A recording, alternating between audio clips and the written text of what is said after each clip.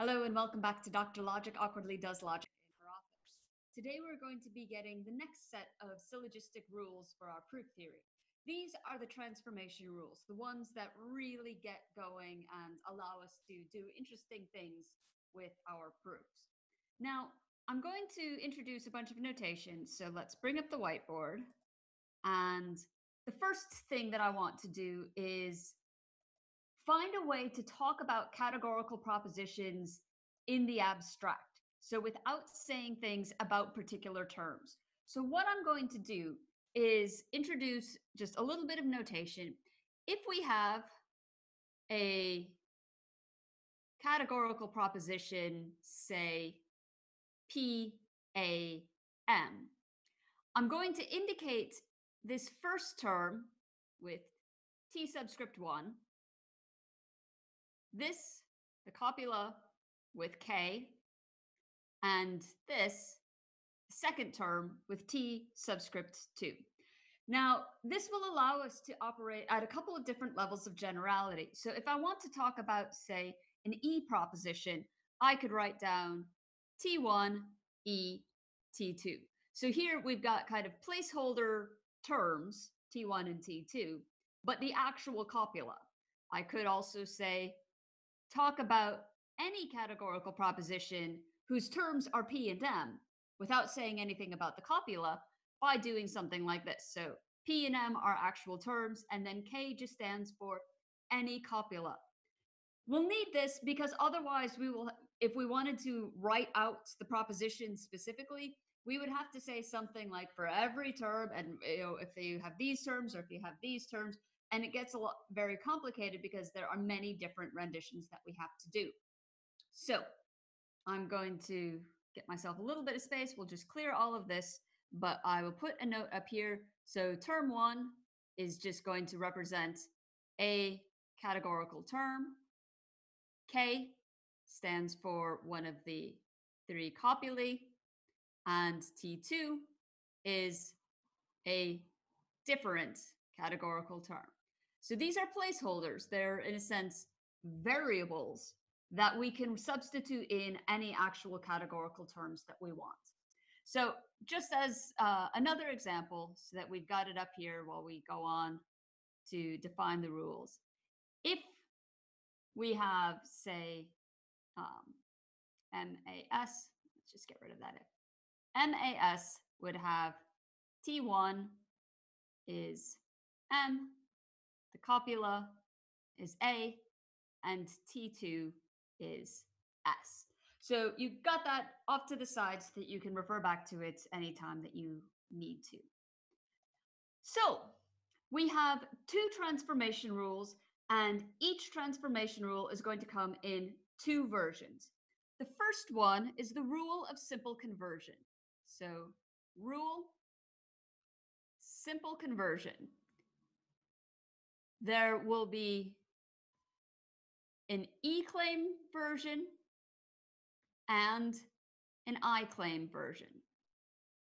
So basically, with simple conversion, if we have written down in our proof at some line an E-claim, what we can do with simple conversion is we can take the two terms and swap their order. So the predicate becomes the subject and the subject becomes the predicate. We can also do the same thing if we have an I claim. So simple conversion takes the two terms and swaps their order. So version number one, to write this out explicitly, for any lines I and N. So again, these are just arbitrary numbers that occur in your proof. If we have something of the form T1, E, T2. So it has to be an E claim, but what T1 and T2 are doesn't matter. If this proposition occurs on line I of the proof, again, we don't necessarily know what justification or what annotation line I might have had. We'll just assume that we got it legitimately. If this proposition occurs on line I of the proof, and line N is in the scope of line I, then we can write T2 E T1 on line N of the proof. So schematically, what this will look like is we have our scope line. There's stuff going on up here, our two premises. But then at some point, we come to a line I where we have the proposition T1, E, T2 with some sort of annotation. We don't know what. If we have that, then later on, we can write down on line I, T2, E, T1. And the justification for this is going to be simple conversion. And we cite the line that has the proposition that we converted, line I. Then sometimes we will abbreviate this to simple conversion, or sometimes even just to SC. So that's the first version of the rule. The second version is going to look very similar. And so I'm not going to rewrite everything. I'm just going to kind of annotate where the other version differs. This one's the second version here says that for any lines i and n, if we have t1, i, t2 occurring on some line i of the proof, and if n is in the scope of line i, then, oops, I just realized I forgot some words. Let's put some words in. So here, then we need to have we can write T2 ET1. Okay. Back to our other version. So for any lines I and N, if an I proposition T1, I, T2 occurs on line I of the proof, and N is in the scope of line I, then we can write, so again, we swap the order of the terms on line N of the proof. So for instance, here we might have T1 I, T2 with some sort of annotation. Then down here at line N, we can do it with the order of the two terms swapped. And this again will be simple conversion citing line I. So if the copula is E or I, you can swap the order of the terms. You cannot do simple conversion on an A claim or an O claim. You can only do simple conversion on an E claim or an I claim.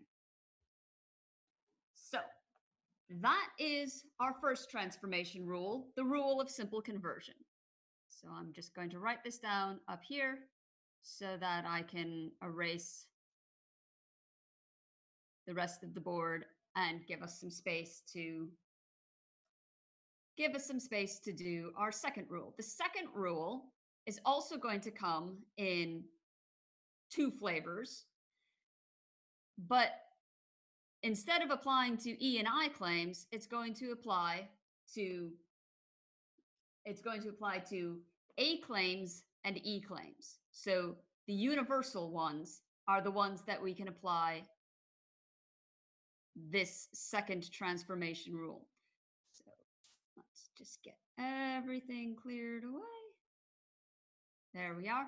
So our second transformation rule is, oops, I need to get back to my pencil. Sorry about this. There we go. This next rule is accidental conversion. Accidental conversion, or if you want to go a little bit Latin, this is conversion per accidens. This will be important later on when we talk about syllogism mnemonics. So remember that accidental conversion can also be called conversion per accidens. This one says for any categorical proposition uh, with an A copula or an E copula. If, sorry, for any lines I and N, if we have an A claim, so T1, A, T2, occurs on line I of a proof, and N is in the scope of I, so it has to be on the same scope line or more embedded than it. So if these two things are true, then we can write on line N. This time what we do, we swap the order of the terms, but we also change the copula. So if we have a universal affirmative proposition, we will change it to the universal partial cor uh, corresponding copula.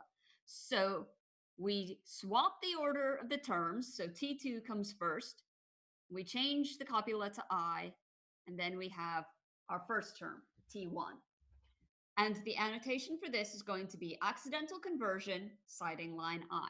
So again, to write it schematically, here's our scope line. We've got various things going on up here. We don't necessarily know what.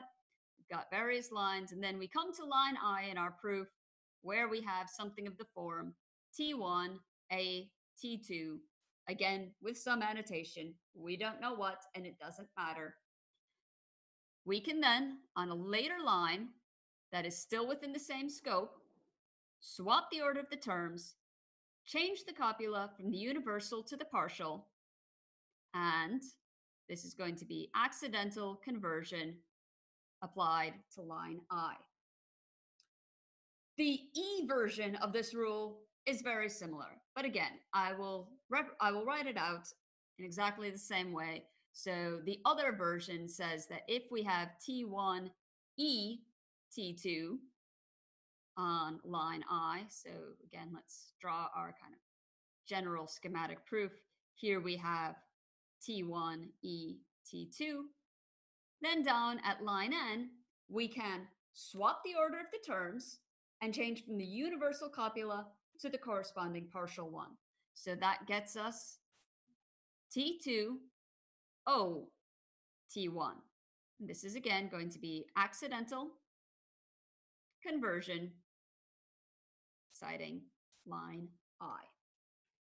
So if you have a universal copula, you can apply accidental conversion. You get the A's turning to I's, the E's turning to O's, and at the same time, you swap the order of the terms. So here is our second transformation rule. This is the rule of accidental conversion. Now, before I give some examples, I'm just going to give a very quick summary of the rules that we have.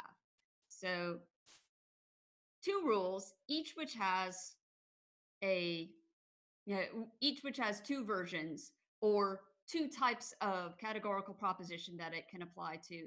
It's sometimes helpful to group the rules according to what types of propositions they can be used on. So there, that's good enough. Let's just get a summary and oops, back to my drawings thing. There we go. So, summary of the transformation rules. A claims can only be accidentally converted. They cannot be simply converted. E claims can be simply and accidentally converted.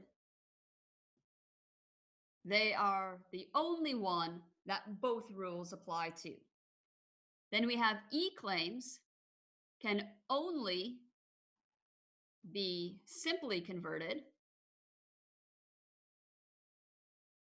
And lastly, we have the O claim And you might have seen already that no rules apply to the O claims. So our transformation rules cannot do anything with the O claims.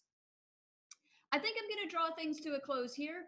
In the next video, I will just give you some examples of how these uh, these rules can actually uh, function in the context of an actual proof. So I'll give some concrete examples, but I've been nattering on long enough already. The take-home message is simple conversion and accidental conversion are the two transformation rules we have. Each of these only applies to two of the types of categorical propositions, and no rule applies to the O propositions at all. Let's close things down here, and I look forward to seeing you next time where we can go through a couple of examples. Cheers.